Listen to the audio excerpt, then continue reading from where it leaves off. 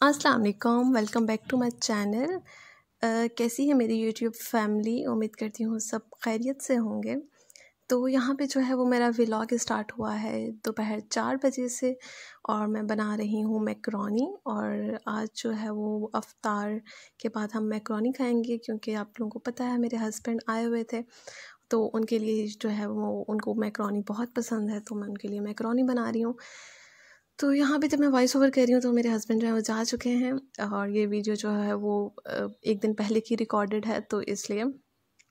तो यहाँ पे जो है वो मैंने चने बॉईल कर लिए हैं तो शाम में बनेंगे चने। चने तो यहाँ पे जो है मैं, मैंने मैक्रोनी के लिए पानी रख दिया है और उसके अंदर थोड़ा सा कुकिंग ऑयल डाल दिया है और एक टीस्पून एक टेबल स्पून नमक डाल दिया है और यहाँ पे मैक्रोनी के दो पैकेट्स हैं मेरे पास, जो है टू इन वन है बिग पॉलर के।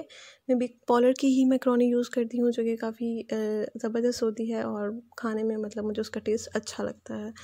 और टू इन वन इसलिए कि इसके अंदर से मसाला भी निकलता है, आप किसी भी फ्लेवर का जो है वो मसाले वाला टू इन वन ले सकते हैं और उस हिसाब से, अपने टेस्ट के हिसाब से मसाला डाल सकते हैं।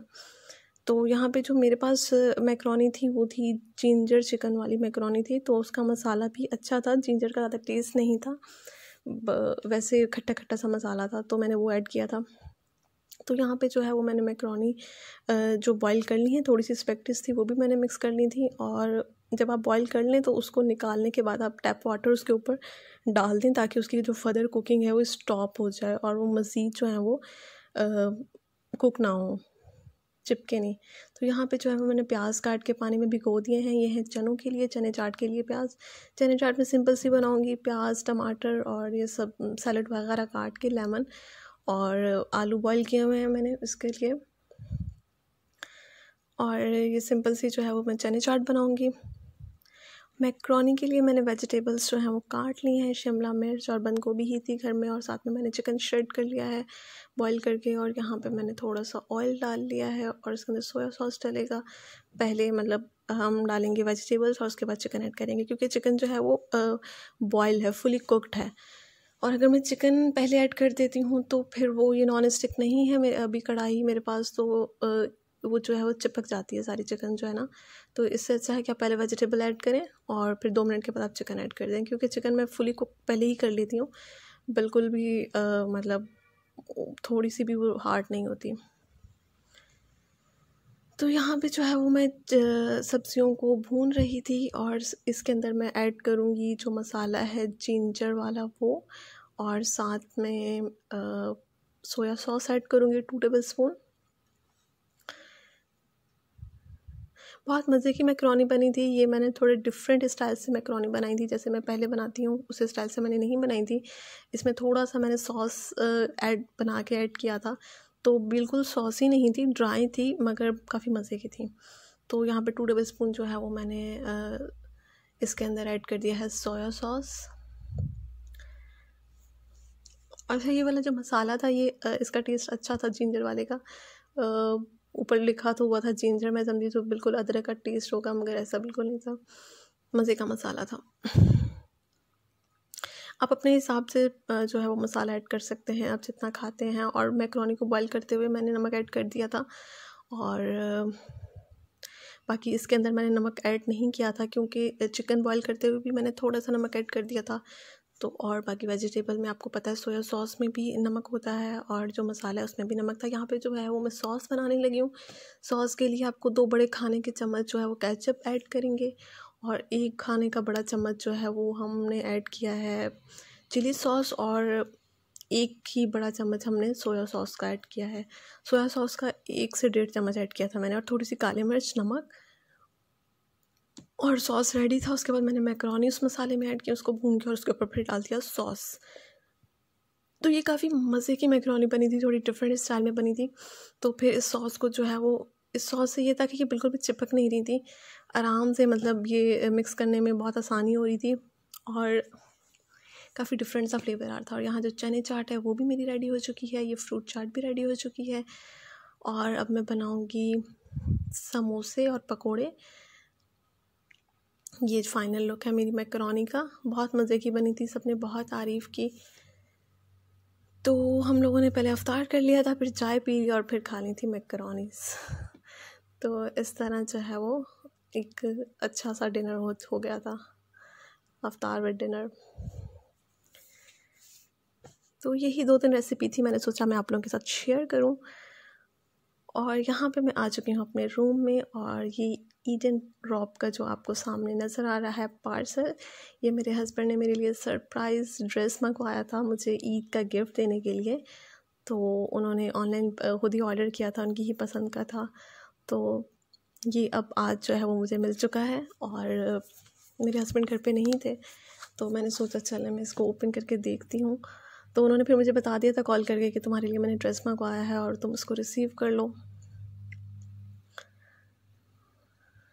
ड्रेस जो है वो बहुत ज़बरदस्त है। आ, मैं आप लोगों के साथ शेयर करती हूँ। ये ईडन ड्रॉप का है और इसके ऊपर सेल लगी हुई है। ईडन ड्रॉप के ऊपर up to I think forty percent है।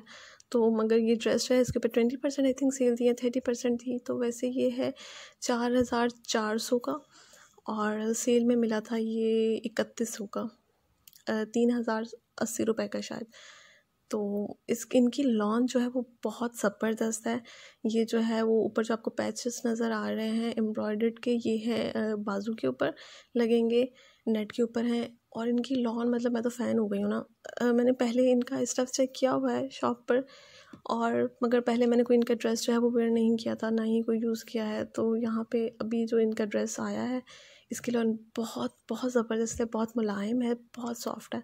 तो आप लोग, अभी भी सेल लगी हुई है, ईद का ड्रेस जिसने लेना है तो वो अच्छा है कि आप मंगवा लें। और इतनी क्विक सर्विस है कि सिर्फ़ जस्ट दो दिन के अंदर ये जो है पार्सल जो है मिल गया है। हालाँकि आपको पता है अभी तक मतलब लॉकडाउन चल रहा है काफ़ी शहरों में और ये वो फिर भी एम्ब्रॉयडरी ड्रेस है, कलर भी बहुत ज़बरदस्त है, ऑरेंज और पिंक सा, इंग्लिश सा पिंक है और ये बाजू पे लगेगा। इंशाल्लाह जब ये ड्रेस स्टिच हो जाएगा तो मैं आप लोगों के साथ शेयर करूँगी।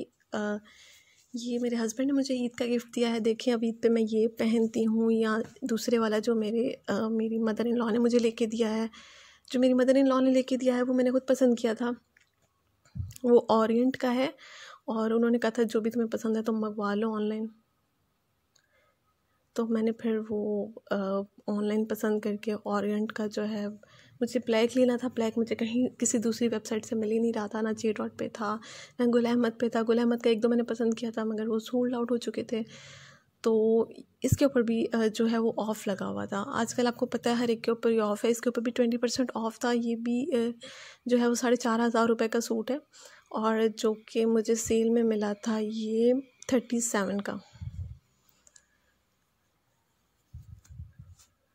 इसका दुपट्टा बहुत ज़बरदस्त है। अच्छा इसका दुपट्टा जो है वो लॉन का है, शर्ट जो है वो जे कार्ड की है। थोड़ा मतलब फैंसी लुक के लिए ना, और ब्लैक है, और ये एम्ब्रॉयड्री गला है, और पूरी शर्ट पे जो है वो एम्ब्रॉयड्री हुई हुई है। इनका स्टफ़ अच्छा है, और वैसे भी अच्छा ब्रांड है, और ये तो गारंटी है कि ये, इनके स्टफ़्स जो हैं वो ख़राब नहीं होते कभी भी ब्रांड्स के। इसीलिए मैं प्रेफर करती हूँ, मैं ब्रांड के ही कपड़े लूँ। आप मतलब कम ले लें मगर ब्रांड के लें। आप जो मार्केट से लेते हैं, मैं ये नहीं कहूँगी कि लोकल मार्केट से लेना गुनाह है या गलत है, मगर ये है कि आजकल उनके कपड़े में वो बात नहीं है, आप लेते हो और आप उसको दो तीन बार वॉश करते हो, उसके बाद एकदम डल हो जाते हैं, एक तो उनके कलर फेड हो जाते हैं, कपड़ा बिल्कुल ऐसे लगता है कि जैसे बहुत पुराना हो। तो इस वजह से बेहतर यही है कि आप थोड़ा महँगा ले लें मगर अच्छा लें। तो इसका दुपट्टा जो है वो बहुत खूबसूरत है, बहुत प्यारा है, बहुत बड़ा है और अभी पता नहीं अंधेरे में सही से ये नज़र आ रहा है या नहीं आ रहा। तो ये दो ड्रेस हैं जो कि मैंने ईद के लिए हैं। एक मेरे हस्बैंड ने दिया, लेके दिया है और एक मेरे मतलब मदर इन लॉ ने मुझे लेके दिया है। तो अब मैं, वो हो सकता है मैं ब्लैक पहले पहनूँ और फिर उसको चेंज करके मैं दूसरे वाला पहन लूँ, क्योंकि दोनों ईद के ही ड्रेस हैं। अब मैं इनको जो है वो शिलिंग करूँगी और सिलवाऊँगी, सिलवाने के लिए दूँगी, क्योंकि बाकी कम ही दिन रह गए हैं। इतना सही मेरा ब्लॉग था। उम्मीद करती हूँ पसंद आया होगा। अल्लाह हाफ़